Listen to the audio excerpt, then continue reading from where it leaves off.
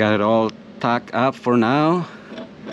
And it, spins freely. This is the H22 I'm reusing this flange. I just re-welded it. And what I'm gonna do I'm gonna brace this up like so. I'm gonna box it in.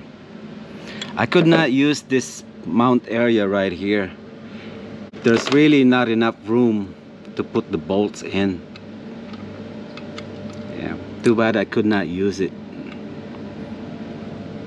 But I think uh, two of these will be good enough I think.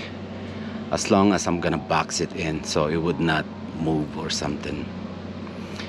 Since it turns this way the forces will gonna try to lift it up. So if I could brace it from here to here I think I'll be okay.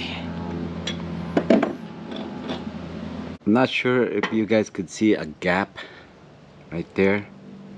So what I'm thinking of is drill a hole here and make a slit and bend this so that way I can weld it once it has an opening on it. So it will be something like this. I'm gonna open it up like so. Then I'm just gonna weld it. Or make a hole completely then weld it around it. So it's more like a, a spot weld. And then uh, and for the top right after I have welded this area I'm gonna put a gusset. So it will be something like this. I think that should be sufficient enough. Somewhat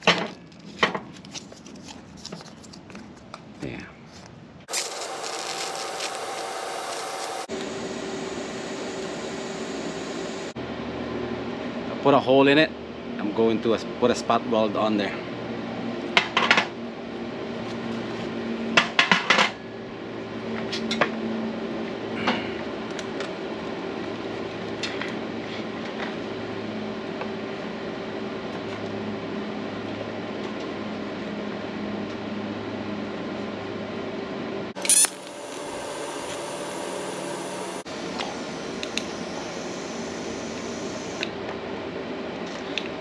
before I finalize this I have to make sure that uh, it didn't uh, bend on me or not be able to uh, to turn the, uh, the shaft. But uh, as you can see it's all good.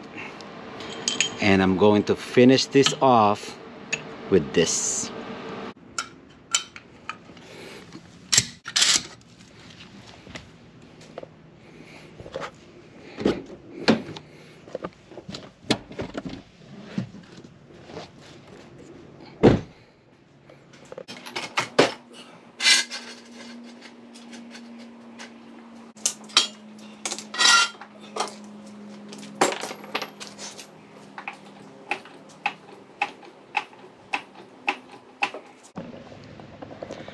Welcome back to the channel everyone. Sagitnet 2. This is another G2B H2B project. I finally come to a point where I am going to find out or we are going to find out if my assumption was correct regarding the H22 half shafts being shoed in on the EK chassis. That's the EK mount but I do got one here uh, very inexpensive. I just want to try it out. And uh, yeah I don't have to uh, change this. I'm gonna use this for now. And uh, I want to find out if I do have a clearance for my power steering. But before I shoot this in this is more like an update also at the same time. I'm gonna show you what I did on the H22 half shafts and also the bracket. Uh, the bracket I didn't show much. I have added a, a reinforce at the back of this.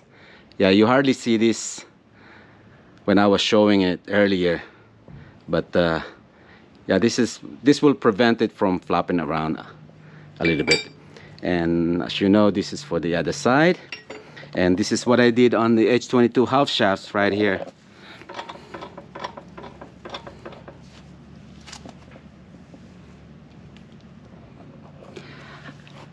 uh, I'm still not done on this one. I could hardly put a bolt in here but what I have decided on is to uh, add a plate right here with threads on it and I'm going to weld like an earpiece right here and a hole and then the bolts will be coming through here. But the plate behind it will be permanently bolted right here. Yeah because I have no room here. I thought about extending a leg through here but it doesn't do any purpose. This thing will try to uh, lift it up. So I have to uh, be close to the mount as much as possible. I think that will help tremendously for this thing not to move around. But I do have to replace the bearing on this one. But this is what I did to the H22 half shaft right there so that's how much clearance I have right there. But I do have to chop more like the oil pump right there. Hopefully I don't have to shave a lot. But I have another oil pump here as you can see. This ear right here I need to shave that area right there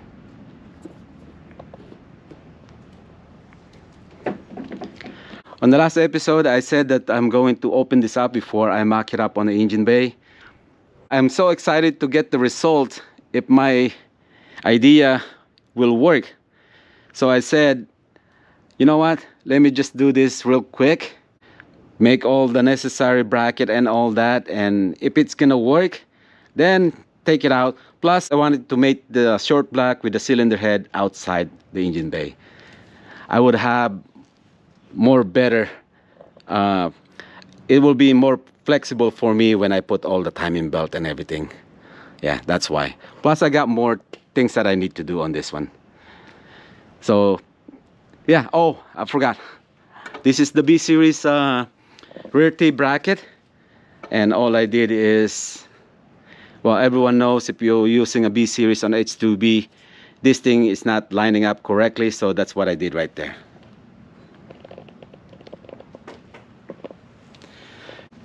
okay? So uh, yeah let's try it on.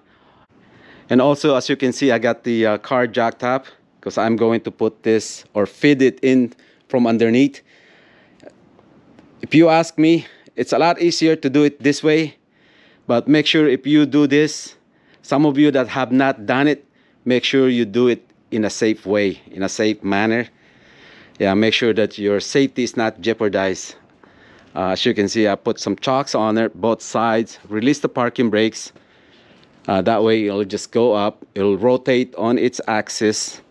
If you didn't release the parking brakes that's okay too. It will work both ways but make sure you are doing it safely okay?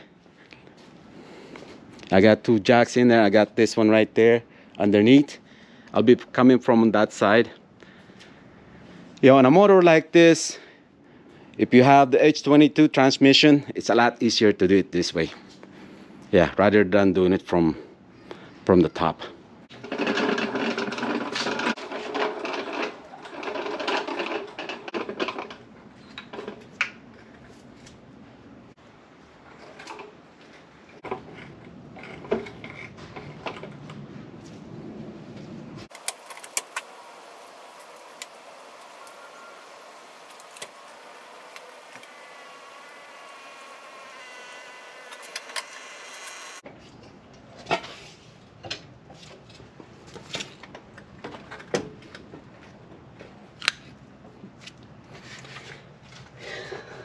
yeah there is not much of a clearance there let me bolt the uh, transmission first but uh, yeah looks like there's none Well, so far it's not good. I'm gonna end up having a, a fully custom bracket on this one. It has not been a productive day today. Somehow the rear T bracket would not aligned. I tried to use all the B series uh, engine mounts like this one here. I started here on the transmission. And then when it comes down here to the rear T bracket the mounting holes would not line up. This is where it should be it was really off. In the beginning I put a mark on it right there. And look how off center it is. So if I line this up this will go it'll swing to the left.